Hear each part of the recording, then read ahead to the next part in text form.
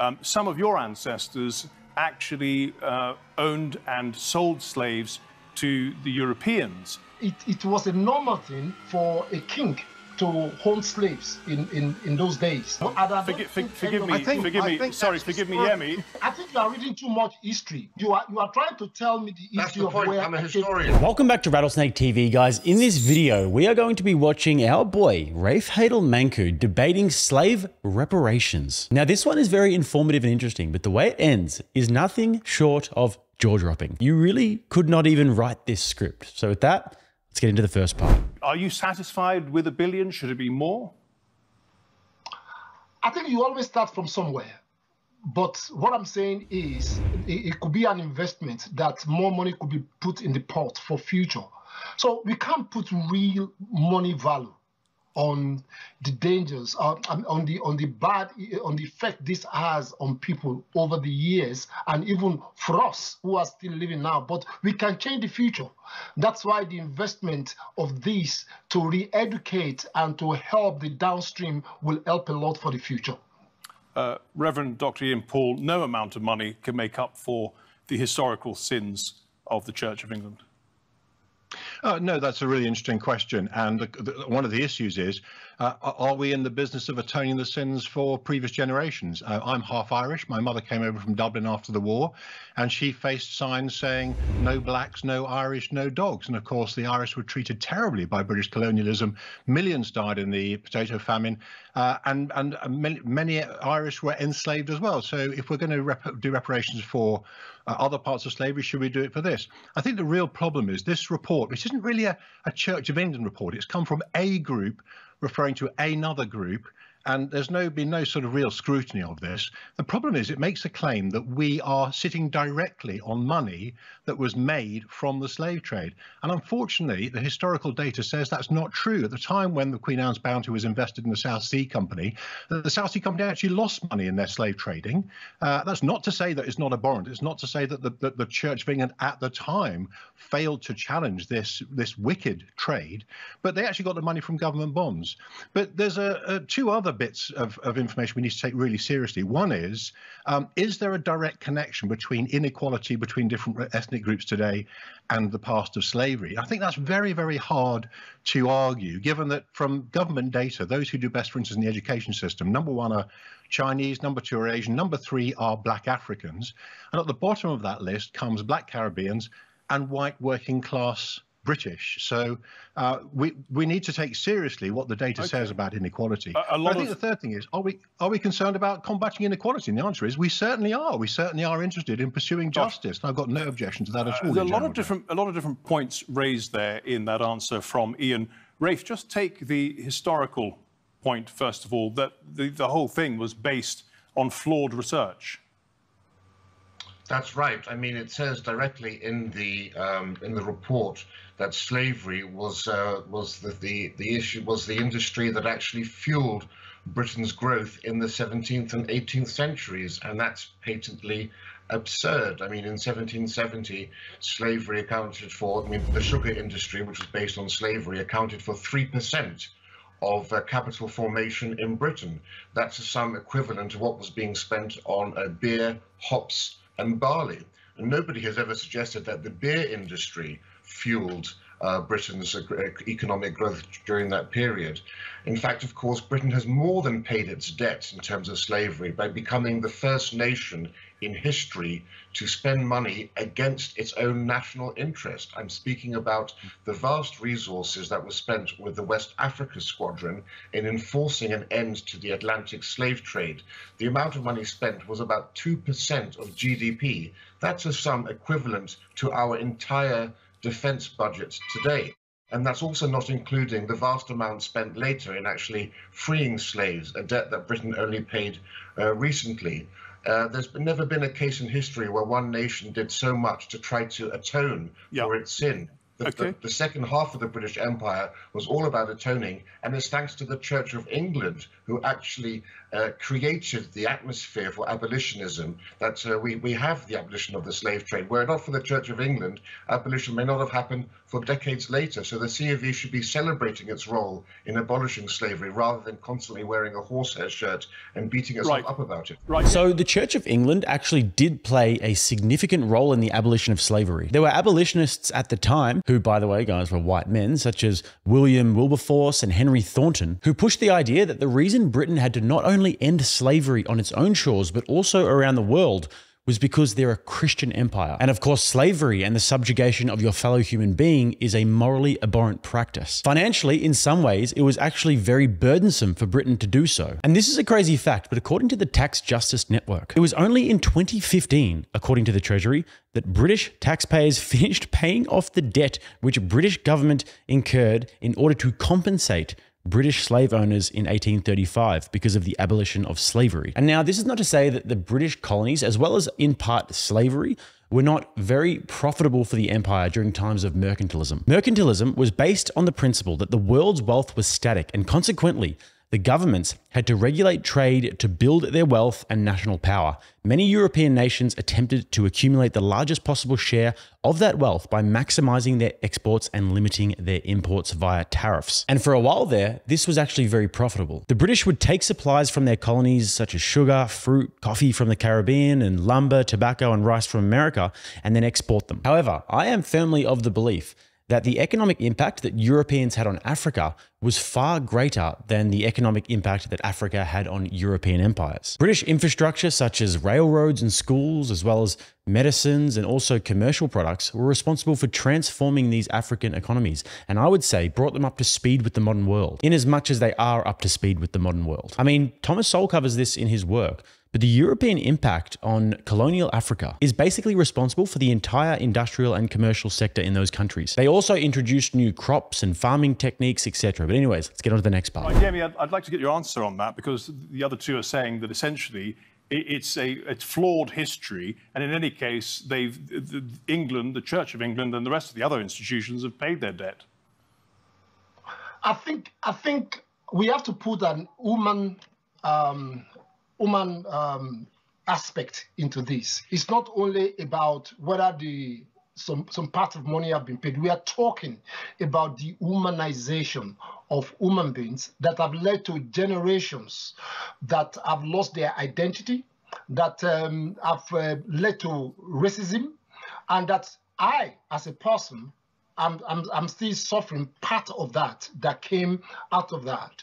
And then my so are my parents and the children that are born in this country. So it's not even, that's why I, I, I keep saying you cannot put money value, uh, what you pay back for slavery. Yes, slavery was abolished, but in reality, some of us are still enslaved today into the world of racism that we can never get out of. Now, I am black. I understand what I'm talking about. That might be very different to someone who is not from the context and the uh, the, the, the background where I come from. But ask, stop any person of uh, black heritage, either Caribbean or African, and ask them the same question they will tell you that it cuts deep into their being, into their soul, that they see from generation up could, up could to I just let where Rafe come in there for a second? Behind. Could, could I let Rafe come in? Yeah, I think it's deeply patronizing and offensive to treat any group of people as victims when they clearly aren't. We're talking about the great, great, great, great, great, great, great grandchildren of slavery. And as appalling and horrendous as slavery was, and of course that's undeniable, What's also undeniable, and this is an uncomfortable truth, is that the lives of the descendants of slaves alive today in Britain are of a far higher quality and far better than if their ancestors had never, left West Africa. In Benin and Nigeria, for example, which is where most slaves came from, the average life expectancy is 60. In Britain, for a black person, it's 85 the uh, a quarter of a century longer, essentially. If you look at uh, disposable income, the average income in Benin is 1,300 per, per year. In Nigeria, it's 2,000. In Britain, it's 35,000 pounds, just over 20 times higher. So as horrendous as slavery was, it's impossible for me to understand in precisely what way it has disadvantaged black people today. What's disadvantaging them is constantly telling them that they are victims and that their own situation is a result of other people rather than actually situations within their own communities. Ian, before I bring Femi back in, could I just.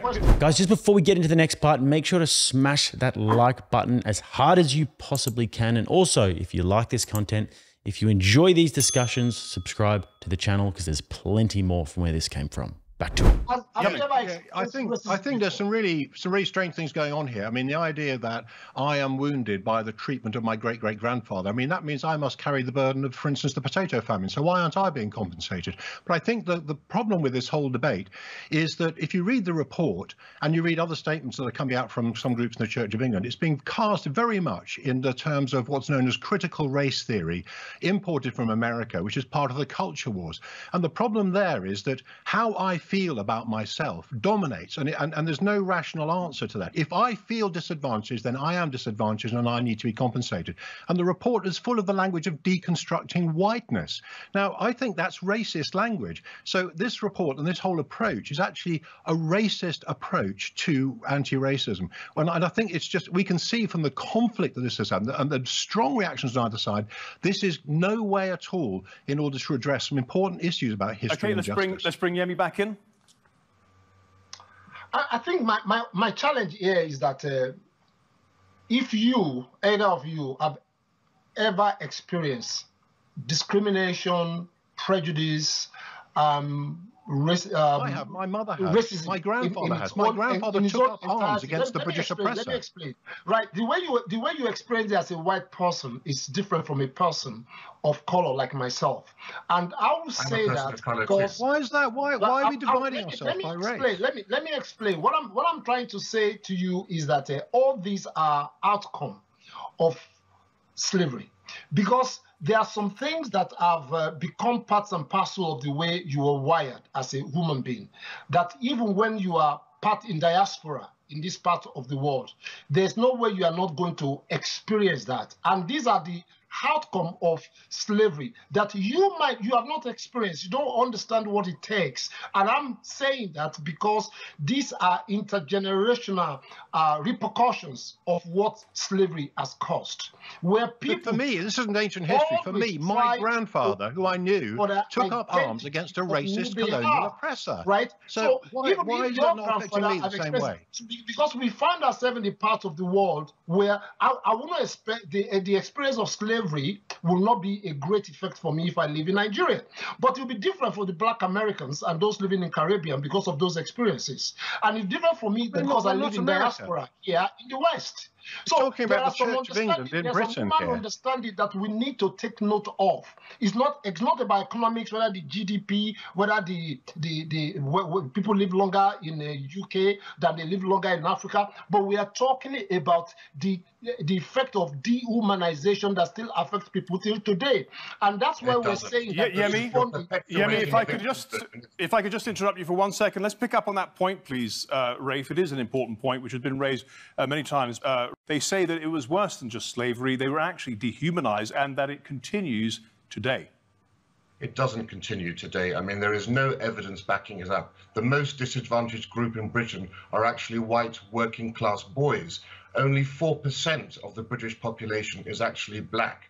So to to to, to give one billion pounds, an astonishing amount of money, to such a small group, when there are so many other equally deserving people of all colours, of all creeds, uh, and of all races, well, is, is it is and always will be wrong. And it seems increasingly that the Church of England is motivated not so much by doing the most good, but by virtue signaling to the current fashions. What uh, it's doing is it's gradually replacing theology with ideology, and it's the ideology of critical race theory and its, you know, its offspring, DEI, diversity, equity, and inclusion, and it's importing, you know, essentially into this country the culture wars of America. And there's a new religion it's instituting. It's the religion of woke with new original sin, and the new original sin is slavery. So this sounds like a very harsh thing to say, but when you think about it, the descendants of slaves who live in Western countries today are much better off than their relatives who are not the descendants of slaves who still live in Africa. And I mean, this is obviously dependent on your values, but what would you rather? Would you rather be born in Britain as the descendant of a slave, or would you rather be born in Cameroon as the descendant of a free man?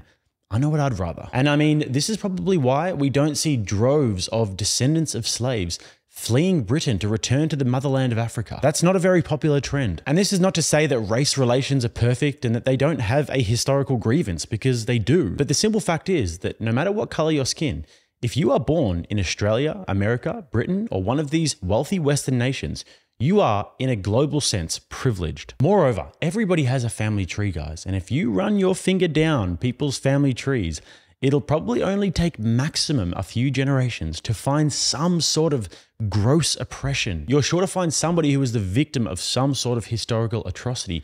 I mean, my great grandparents on my mother's side were forced to flee Yugoslavia. They had to take their two infant sons and leave, or else they would be killed by the communists. I mean, all of the land that had been in the family for generations was taken, friends were killed, etc. And then eventually they somehow made it to Australia on a boat. They arrived with absolutely nothing and they were forced to try and make a life. And that's what they did. They didn't have time to sit around and act like victims, they had to build and survive. And this is is basically the story of history. He's correct in saying that Africans and Caribbean people were subjugated and were dehumanized. It's a terrible thing. History is very ugly. But the fact of the matter is that these particular parts of history are constantly highlighted and are constantly brought to the forefront. These are seen as the epitome of victimhood when really the 20th century was literally filled with bloodshed. There are so many cultures throughout just the last hundred years that you could point to and say, these guys are the barometer of victimhood. And it's far more recent than slavery.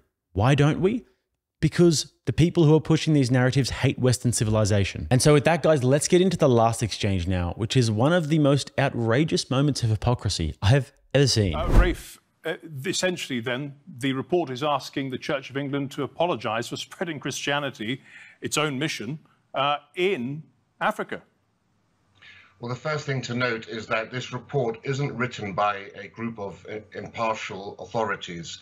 That, that must be said. In fact, one, one of the members of, the, of this oversight group is a self-proclaimed activist, reparationist, a member of the International Campaign for Reparations. So this isn't a group of of, uh, of academics who are neutral. And yes, the, the point's very important. What we should be saying is that the Church of England, for the first time, in human history, we had the evangelical Christian movement called the Clapham sect, just a mile or so from me here in London, that created slavery was universal, but the rise of the abolitionist movement was unique to world history, and it was something that could only ever have come out of Britain and Protestant Western Europe. And we should be celebrating that and look forward rather right. than permanently creating a system of victimhood in this country. I just want to give the last answer here to to um, to Yemi.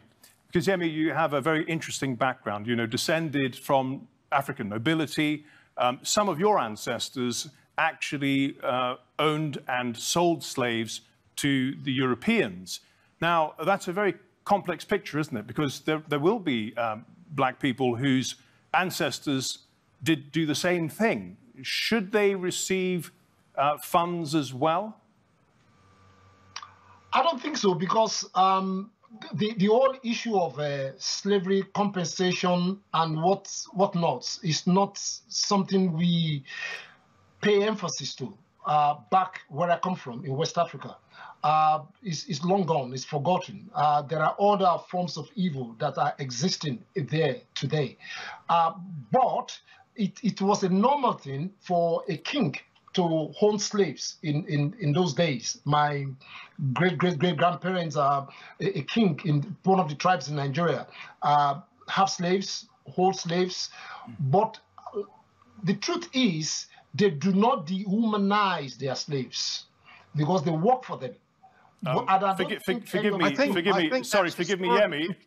Uh, forgive me, Yemi. No, do come in if the issue's been forgotten in Nigeria, why on earth are we banging on about it here now with reparations? If if in Nigeria they've forgotten about this, there are more important things to deal with. Surely in the Church of England there are more important injustices to deal with than what happened 250 years ago, which we repented of. But I, I just want to highlight the point that Yemi's making. He's saying that in those times in Africa, amongst kings, it was normal to own slaves and to sell slaves and, but what they didn't do is take the additional step of dehumanizing them. Um, yeah, come in, Rafe. Yeah, I'm. A, yeah, I mean, the, the, there were more slaves held in bondage in Africa than were ever transported across the continent, across the transatlantic slave trade. And actually, if you look at places like Benin and the Kingdom of Dahomey, they had absolutely brutal treatment of slaves. In fact, you know, they were also working on plantations there too. Not only that, every year there were annual human sacrifices of slaves uh, in the numbers of tens of thousands, amounting eventually to hundreds of thousands, if not millions. So the idea that they were living in some sort of unchattel type of slavery is for the birds, I'm afraid. Yemi, um, it's, I think, it's, I, think, I, think, I think you are reading too much history. You are you are trying to tell me the That's history the of point. where I'm a historian. I'm telling you the I, facts. I came, I came. This is my origin. You want to interpret and educate me on my origin? I think that that that's appalling.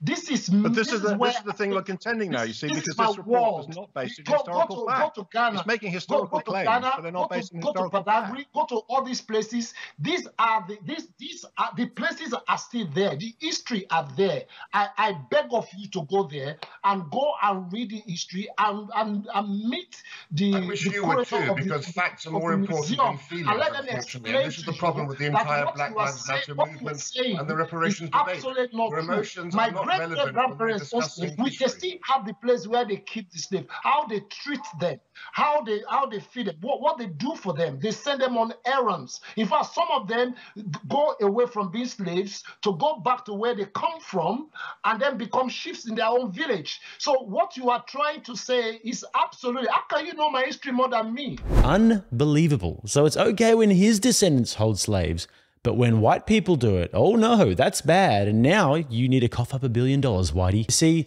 when we Africans hold slaves, it's chill because they're just working for us. Plus, that was then. It was normal to do it back then. And now we have modern day problems that are more important that we have to worry about. Plus, we were cool to our slaves. We didn't even dehumanize them. Really? Guys, what we just saw there was the perfect microcosm of the woke historical discourse that we see in our current culture. White Christian Europeans are seen as evil demonic creatures who have just plundered the entire world, and everyone else, victim. This despite the fact that every culture did bad things, and there is actually a very strong case to be made that the Christian empires were the most moral out of all of them. Hence the abolitionist movement. So with that, guys, check me out below Twitter, Instagram, Jake Rattle SNK. Reach out to me if you'd like to. Also, if you'd like to subscribe to the channel, if you haven't done so already, right here. And if you'd like to watch another video, right here. Till next time, I'm Jake. This is Rattlesnake TV, keeping you armed and dangerous.